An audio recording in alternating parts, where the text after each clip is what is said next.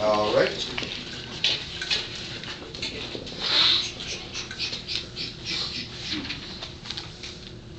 I hope you forgive me, Mr. Valentine. My business requires that I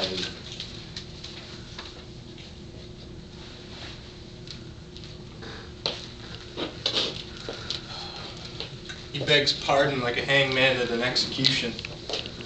But I have got a reprieve. I'm surprised. What does your father relent? No. He has sent me the hardest conditions in the world. You have heard of that booby brother of mine? That here that has sent to sea three years ago. This brother, my father hears has landed.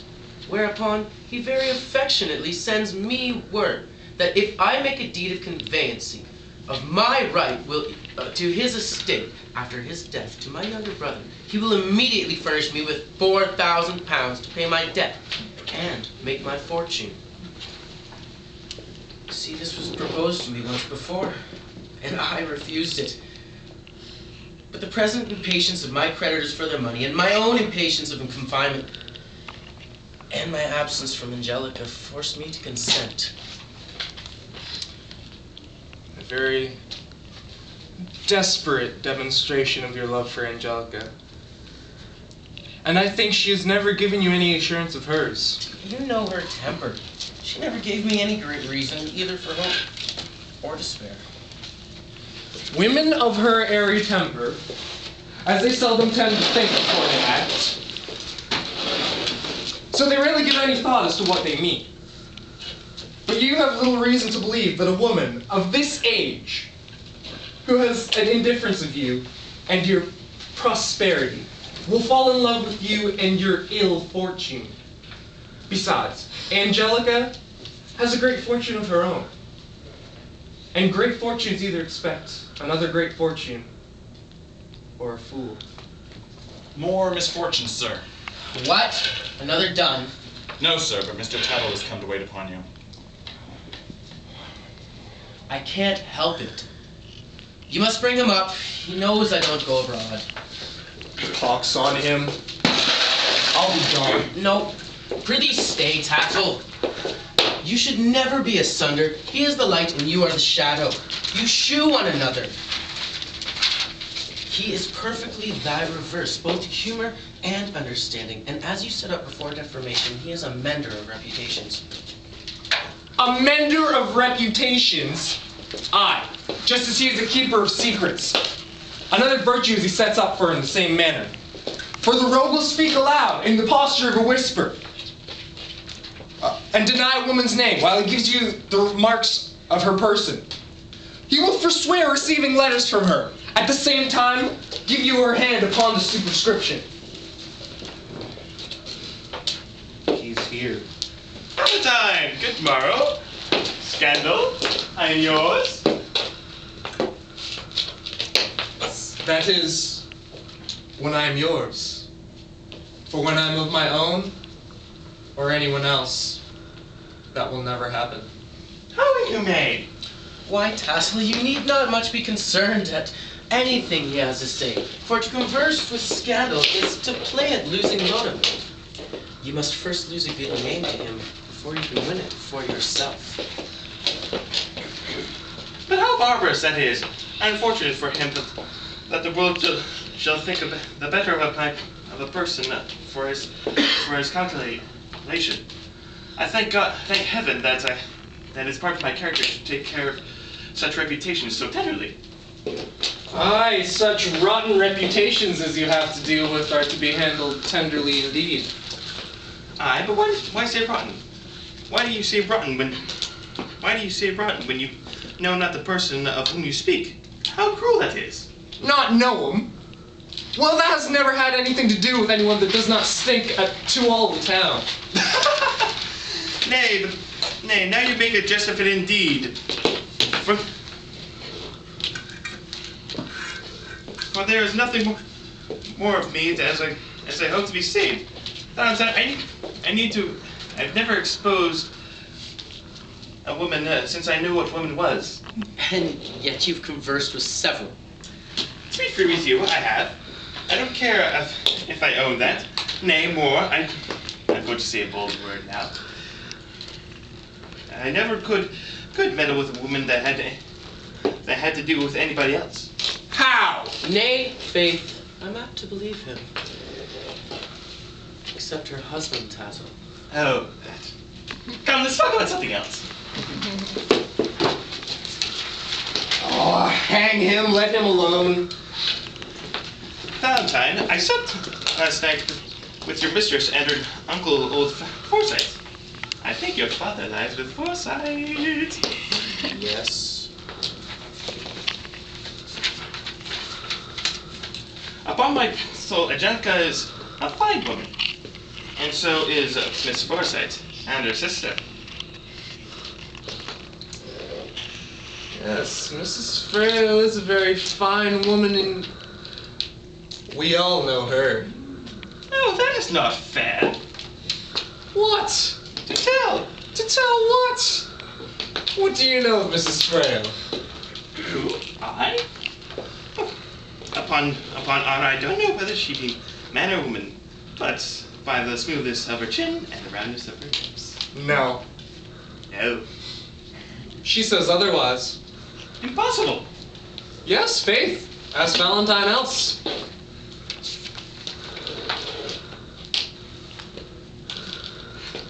What?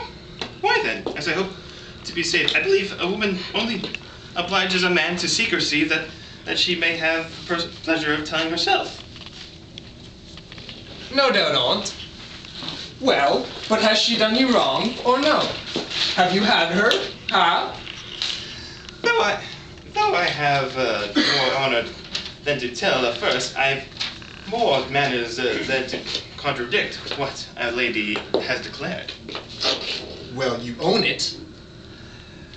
I am strangely surprised. Yes, yes, I can't deny it. If if the taxes, if she taxes me with it, She'll be here by and by. how? She does me the favor. I mean, of a visit sometimes. I did not think she granted more to anybody. Hey, what do you mean, gentlemen? Faith, nor I. But Tattle does not used to belie a woman. It's contrary to his character. How to be deceived in a woman, Valentine? Oh, barbarous! Why, why did you not tell me? You, you told us. Uh, th- and and bid me ask Valentine. Valentine. What did I say? I hope you wouldn't bring me to confess an answer you never asked the question to. How? But, but, gen- but gentlemen, this is the most inhumane proceedings. Nay, if you have known scandal thus long and cannot avoid such a palatable decoy as this was, the ladies have a fine time whose reputations you are in keeping. Sir, Mistress Frail is sent to see if you're stirring. Chew her up when she comes. My God! No, you'll meet her. You're not have a back way. Well, if there were, you'd have more discretion than to give scandal such an advantage. I mean, why you're running away will prove all that he can tell her. Scandal, you, you will not be so generous. Oh, I shall lose my re- reputation of secrecy forever. I shall never be seen but upon public days, and my visits will never never be admitted beyond a beyond a drawing room. I shall never be I shall never see a be- bedchamber again. Never never be locked in the closet, nor run behind a screen, or under a table. Never never be distinguished among the waiting women, but by the name of trusty Mr. Tattle Moore. You, you will not be so cruel. Scandal, have pity on him. He'll yield to any conditions. Any terms, any. Come then. Sacrifice half a dozen women, good reputation to you presently. Come where you are familiar. And see that they are women of good quality, too. The first quality. tis very hard. Won't a, bar- a baronet's lady pass?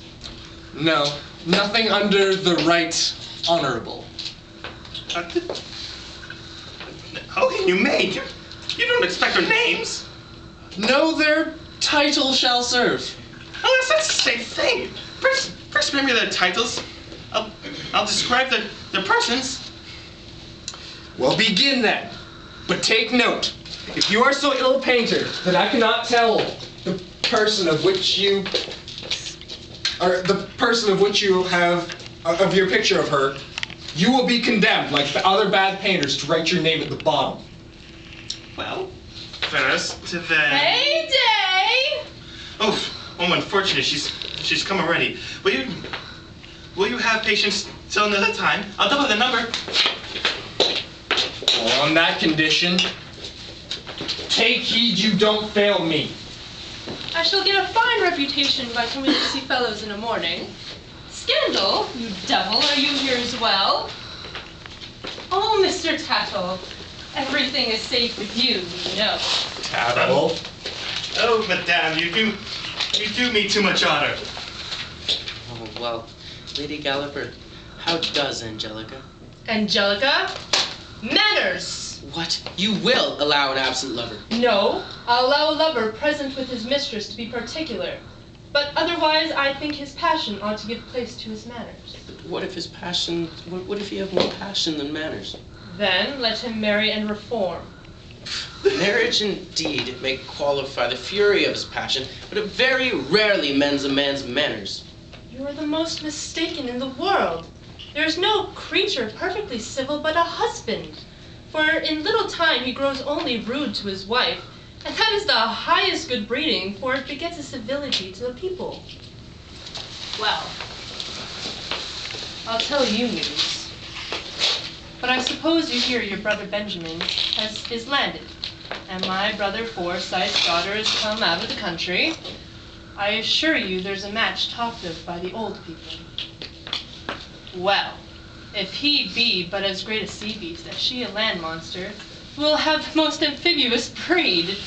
The progeny will be all otters. He has been bred at sea, and she's never been out of the country. Poxum, their country, their conjunction bodes no good for me, I'm sure. Now you talk of conjunction. My brother Foresight has cast both their nativities and prognosticates an admiral and an eminent justice of the peace to be the issue male of their two bodies. Tis the most superstitious fool. Now come, I must have something. Step into the next room and I'll give you something. I will all give you something. Well, I'll come if it be only to disprove you. Sir, here's the steward again from your father. I'll come to him. Will you give me leave and I'll wait on you then presently? No, I'll be gone. Come, who squires me to the exchange? I must call my sister Foresight there. I will. I have a mind to your sister. Sybil! I will. I because I have a, a tender for your for your ladyship. That is somewhat better, to my opinion. Well, if Tackleton entertains you, I have a better opportunity to engage your sister. Tell Angelica I'm about making hard conditions to come abroad. I'll be at her liberty to see her. I'll give an account of you and your proceedings. If indiscretion, er, if indiscretion be the sign of love, then you, my friend, are most the lover of any man I know. You fancy that parting with your estate will help you to your mistress? In my mind, he is a thoughtless adventurer who hopes to purchase wealth by selling land or win a mistress with a losing hand.